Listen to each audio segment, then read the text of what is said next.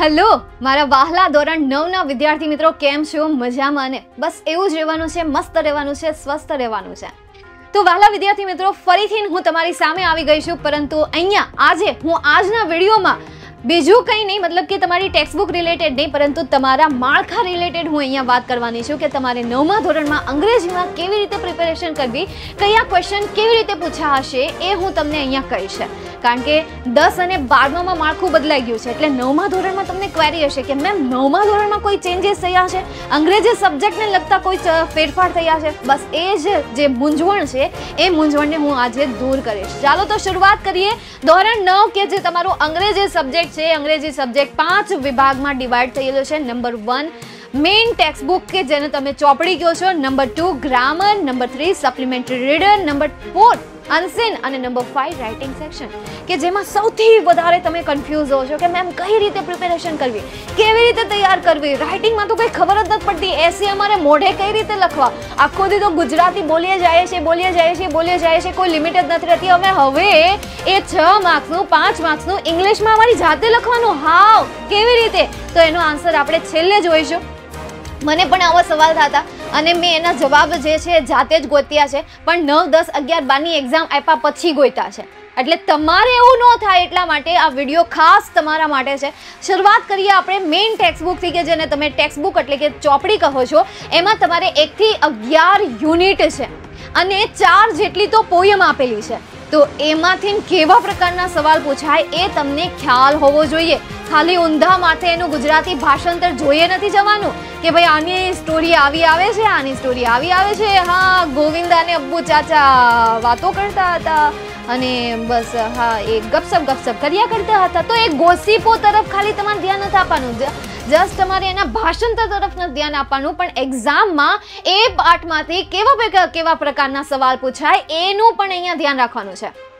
હવે તમે તૈયારી કરી રહ્યા છો ને તો સૌથી પહેલાં ગ્રામર અને ટેક્સ્ટબુક કમ્પ્લીટ કરી નાખજો. કારણ કે આ બે કમ્પ્લીટ હશે ને તો બાકીના ત્રણ મેં અહીંયા વાત કરી ને supplementary reader unseen data writing એ ઓટોમેટિક થઈ જાય છે પણ આ બે સંપૂર્ણ રીતે કમ્પ્લીટ હોવા જોઈએ. હું એમ કહું ડેન્ટલ હેલ્થમાંથી આ પેરેગ્રાફનું ગુજરાતી તારે કરવાનું છે. હા મેમ હમણાં કરી દઉં. આવી રીતે તમારી પાસે કોન્ફિડન્સ હોવો જોઈએ.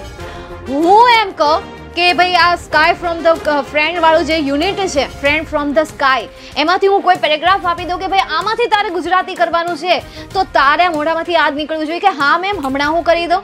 બસ, આટલો કોન્ફિડન્સ ડેવલપ કરવાનો છે, તો બાકીના ત્રણ ટોપિક જે છે ઓટોમેટિક પ્રિપેર થઈ જશે. ફર્સ્ટ આપણે વાત કરીએ મેઇન ટેક્સ્ટબુક મેઇન ટેક્સ્ટબુકમાંથી તમને પાંચ પ્રકારના સવાલ પૂછાય છે. Number one paragraph base questions કે જે તમને એક્ઝામમાં દસ માર્ક્સમાં પૂછાશે. પેરેગ્રાફ બેઝ ક્વેશ્ચન એટલે શું થાય? ફકરો આપ્યો હોય, એની નીચે સવાલ આપેલા હોય, એ સવાલના જવાબ તમારે પેરેગ્રાફમાંથી શોધીને લખવાના. એવું કરવાનું, સમજણ? હવે આ વસ્તુ જે છે, એ વસ્તુ મેં તમને વિદ્યાકુલની એપ્લિકેશન કે જ્યાં લાઈવ લેક્ચર ચાલી રહ્યા છે ત્યાં મેં સમજાવેલી છે અને હાલમાં પણ સમજાવવામાં જ આવે છે. જેવો પાઠ પૂરો થાય એટલે એના પછી એવી એક્સરસાઇઝ કરવામાં આવે છે કે જે તમને કદાચ તમારા ઓફલાઈન ક્લાસમાં પણ નહીં કરાવતા હોય. તો એ વસ્તુ ઓનલાઈન કરાવવામાં આવશે. નેક્સ્ટ આપણે વાત કરીએ ફિલ ઇન ધ બ્લેન્ક જે તમને ત્રણ માર્ક્સમાં પૂછાશે. આ પણ તમારી ટેક્સ્ટબુક રિલેટેડ રહેશે. ત્રણ ખાલી જગ્યા આપેલી હશે. ઉપર ત્રણ ઓપ્શન આપેલા હશે. એ ત્રણ ઓપ્શનમાંથી જે ઓપ્શન જ્યાં સૂટ થતો હોય ત્યાં તમારે એને લખી દેવાનો છે. ઓકે નેક્સ્ટ આગળ જઈએ આપણે. સેટ ઓફ ધ વર્ડ તો તમે જ્યારે નાના હતા, પાંચમા ધોરણમાં ભણતા હતા, ત્યારે તમારી ગુજરાતી વિષય આવતો હતો અને એમાં તમને કહેતા કે આ બે શબ્દનો ઉપયોગ કરીને એક સરસ મજાનું વાક્ય બનાવો. અથવા તો ઉદાહરણ પ્રમાણે વાક્ય બનાવો. સેમ એવી રીતે અહીંયા ઇંગ્લિશમાં આવશે.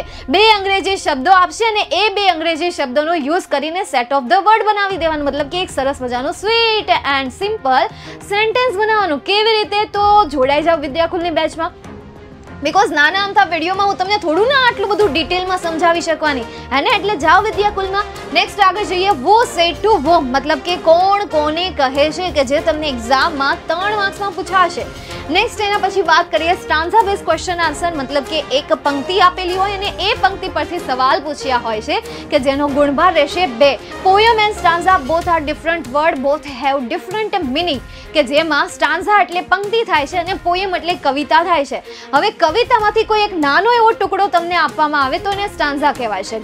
ગ્રેટ નેક્સ્ટ આગળ જઈએ અને પછી સપ્લિમેન્ટરી રીડર તો નવમા ધોરણમાં તમારે ડોલ્ફિન આવે છે. નામ સાંભળ્યું છે? ન સાંભળ્યું હોય તો સાંભળી લો.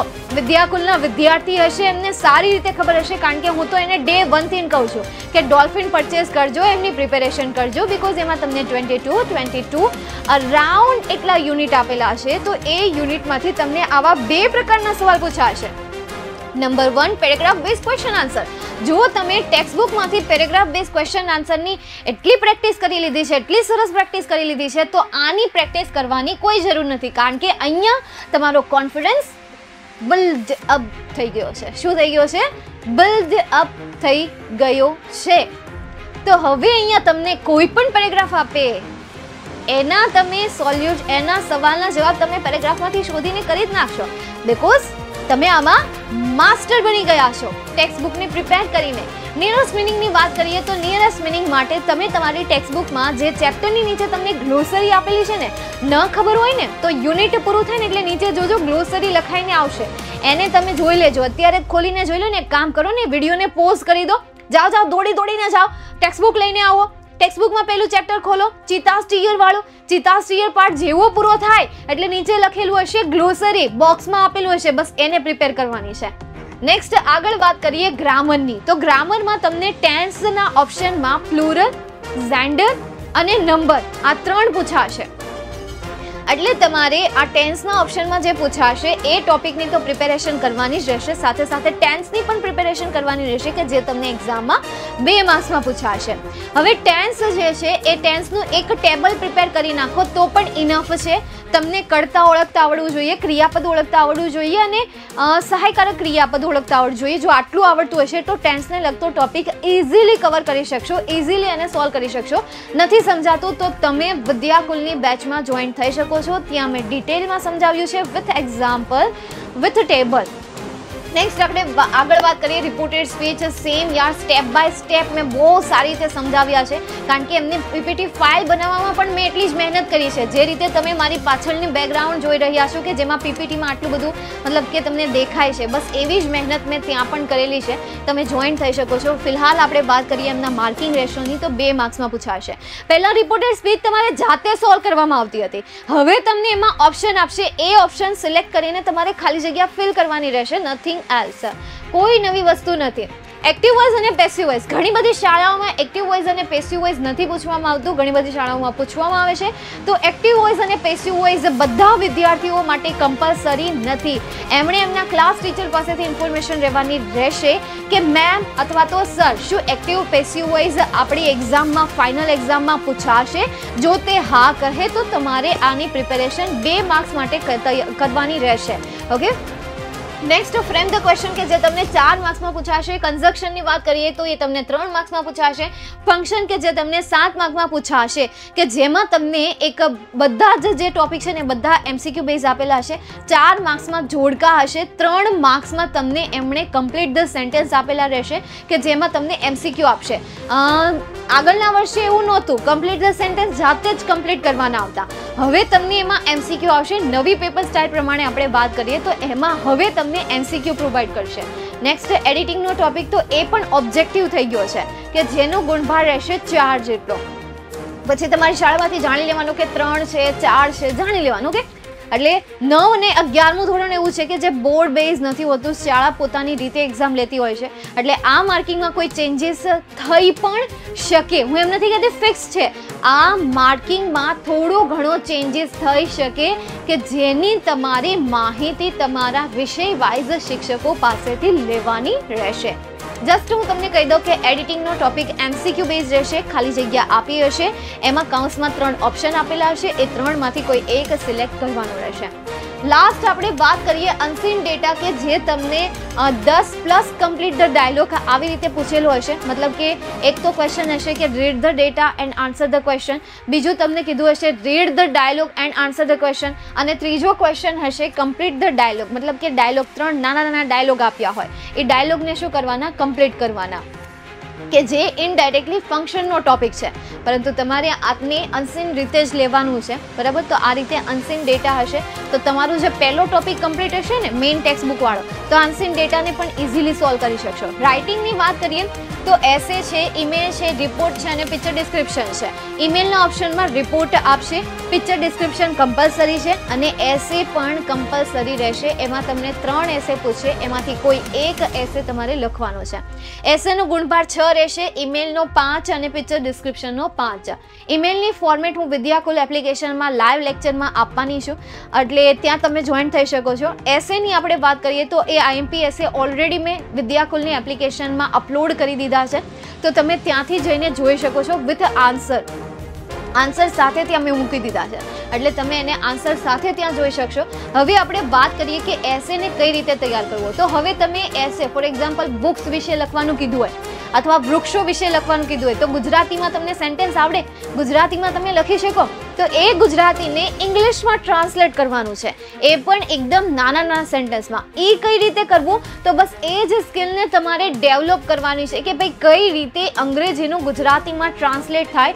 સૌથી પહેલાં તો આ સવાલનું સોલ્યુશન કરો. અત્યારે જ.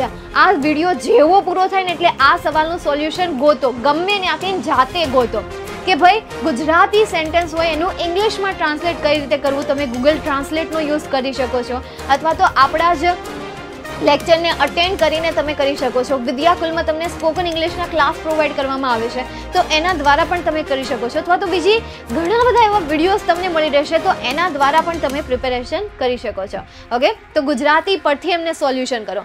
વાત કરીએ ઈમેલની તો ઈમેલની એક ફોર્મેટ હોય છે. એ ફોર્મેટને ફોલો કરો. પિક્ચર ડિસ્ક્રિપ્શનની વાત કરીએ તો પિક્ચર ડિસ્ક્રિપ્શનમાં પણ ઘણા બધા એવા સેન્ટેન્સ હોય છે કે જે કોમન હોય છે, કે જે હું તમને નવમા ધોરણમાં આપણી જે બેચ ચાલી રહી છે, એ બેચમાં હું ડિટેલમાં કહેવાની છું કે જ્યારે પિક્ચર ડિસ્ક્રિપ્શનમાં કંઈ ખબર ન પડતી હોય, તો એના આન્સર કેવી રીતે લખવા, એમાં શું લખવું, કે એવી કઈ વસ્તુ છે કે જે કોમન છે કે કોઈ પણ પિક્ચર ડિસ્ક્રિપ્શન પૂછાય, એમાં તમે એ કોમન સેન્ટેન્સ લખી શકતા હોવા જોઈએ. એવું છે કંઈ તો છે, પણ એ અત્યારે હું તમને ડિટેલ્સમાં નહીં કહી શકું. જસ્ટ તમે રાઇટિંગ સેક્શનને આ રીતે સોલ્વ કરો. તમારો ગુજરાતી સેન્ટેન્સને ઇંગ્લિશમાં ટ્રાન્સલેટ કરીને સોલ્વ કરો. ઓકે તો અત્યારે હું મારા આ વિડીયોને અહીંયા સુધી રાખું છું. આપણે ફરીથી મુલાકાત થશે યુટ્યુબના લાઈવ સેશનમાં. જો વિદ્યાર્થી મિત્રો, તમે ચેનલને લાઇક ન કરી હોય, શેર ન કરી હોય, તો ફટાફટ સબસ્ક્રાઇબ કરી દો. કારણ કે તમારા માટે કંઈક ને કંઈક નવું લાવતી રહેશે હંમેશા આ ચેનલ અને વિદ્યાકુલની ટીમ. તો અહીંયા સુધી હું રાખું છું. See soon bye and take care